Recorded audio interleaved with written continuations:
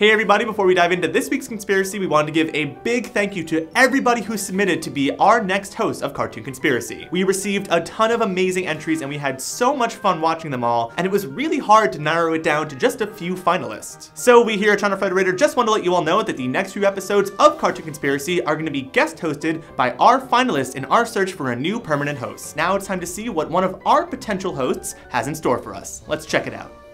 Inside Out may be one of the newer additions to Pixar's library, but it's already firmly established itself as one of the studio's classics. Through the adventures of Riley, joy, sadness, anger, fear, and disgust, the movie had us laughing, crying, laughing again, crying again, try not to cry, cry a lot, let it all out. In the second act of the movie, while stumbling through the twisty, turny maze of long-term memory, joy and sadness run into Riley's old imaginary friend Bing Bong. And throughout the movie, he wears this little flower on his jacket, and each color can be associated with one of Riley's emotions. Yellow for joy, blue for sadness, red for anger, orange for Wait, who does orange represent? Is there a sixth emotion we never met? What exactly does it represent?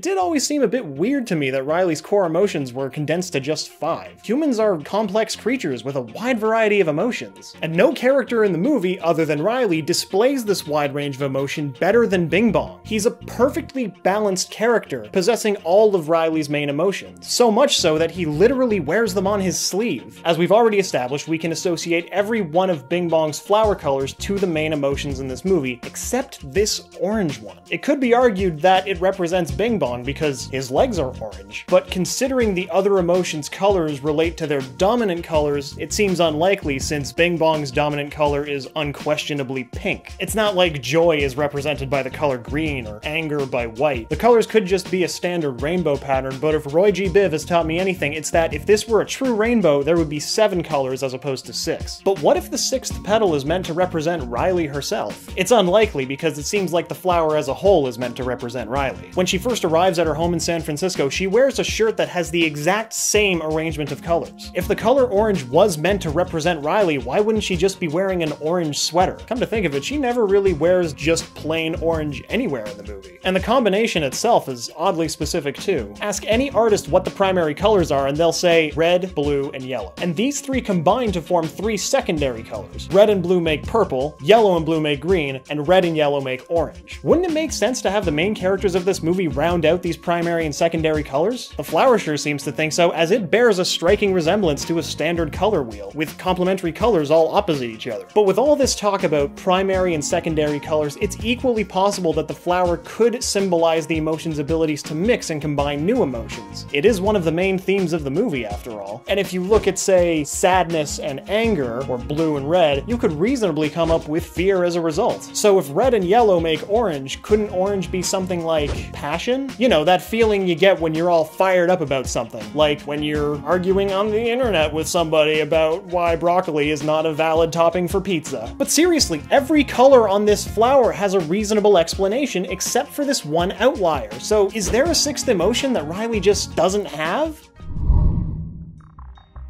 First and foremost, let's talk about the elephant in the room. Nowhere in the movie is a sixth emotion present anywhere. Not in Riley's head, not in her parents, not even the animals. So if the flower is meant to represent an emotion, would that mean it's an emotion that only a select group of people have? And if that's the case, what could it be? Love? Hope? Pride? Wow, the movie just got a lot sadder if nobody ever feels those. As for the whole fusion thing, while arguments can be made that you could get passion out of a combination of joy and anger, that would mean that disgust would have to be a combination of sadness and joy, since after red blue and red yellow, it's the only combination left. It's not impossible to justify, but it's significantly harder considering some of the memories that we see at the end of the movie. They pretty clearly contain both joy and sadness, and the resulting emotion isn't disgust. And in the end, it doesn't matter anyway, since fear and disgust are already shown to be core emotions and not offshoots of our primary colors over here. It wouldn't make much sense for Bing Bong's flower to only showcase one of the fusions when there are over 10 that are possible. The simplest explanation is probably the correct one, and while we glossed over it before, Bing Bong does have orange in his design. It would be unorthodox for him to be represented by the color orange, but is anything about Bing Bong orthodox? Despite this almost overwhelming evidence against this theory, there is a bit of truth to it. Not in the movie itself, but in the movie's production. In past interviews, director Pete Docter and producer Jonas Rivera have shed some light on what could have happened. During the production, up to 27 emotions were originally considered before they cut it down to 5 for the sake of simplicity. Some of the scrapped emotions included the previously mentioned love, hope, pride, envy, schadenfreude, and like a billion others. But let's take a closer look at hope. Based on the concept art that was released on the internet, guess which color hope was originally planned to be? Orange. If at any point in the film the main cast was supposed to have six characters in it, it would explain Bing Bong's six petals. But as it stands, we're left with only the five main emotions. They could have just kept the number at six to keep with the symmetry of the design. Or